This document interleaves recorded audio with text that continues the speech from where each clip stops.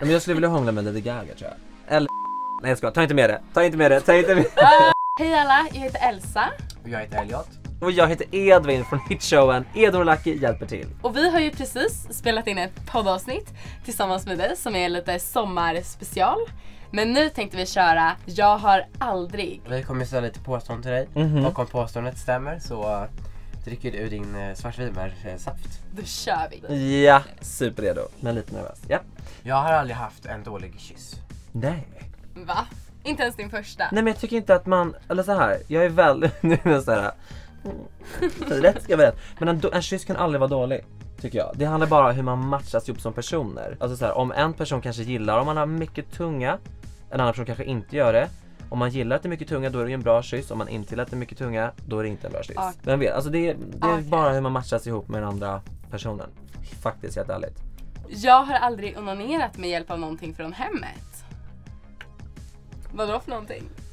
Alltså såhär kitchen appliances och sånt. Eller ska, Nej, eller, Ja men det är också hemmet. Ta- Med en mixerstav har jag, nej men alltså Nej, med... men, på riktigt? Nej! Nej men gud! En- Vad skulle jag gjort med den? Mixat? Nej men det, det är jätteskönt. Nej men, ja men alltså såhär, ja men man kanske har- experimenterat lite med kanske så här olivolja, extra virgin olive oil. Jag har aldrig tvivlat på min sexualitet. Kan jag dricka upp hela den här? Typ Jag bara tror, ja men det, gud, ja. Eh, jag tror alla gör det. Så ja, jag har verkligen tvivlat på min sexualitet. Har du något tips på vad man kan göra om man känner att man verkligen ja, men, tvivlar på sin sexualitet och inte vet?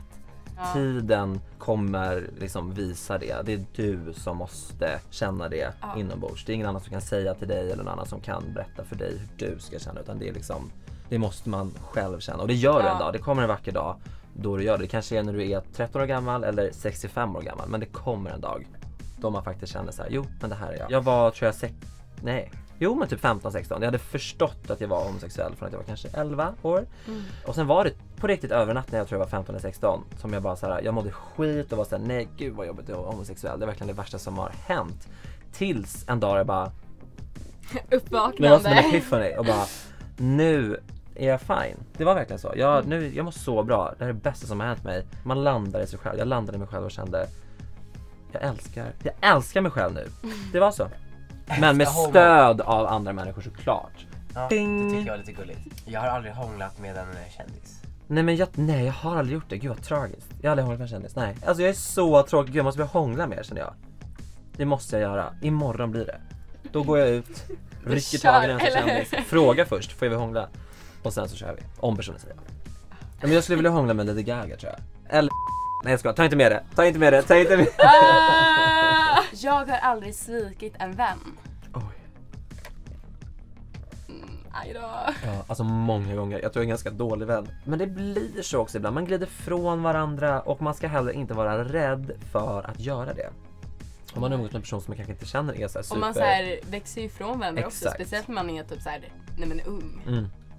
Så var inte rädd att du ska, så här, om du känner, eller någon här, liksom att man glider ifrån någon och känner vi har inte så mycket gemensamt, vi har inte så kul när vi hänger. Umgås inte då. Alltså för Nej. det är bara dåligt för ditt välmående. Jag har aldrig kollat på porr.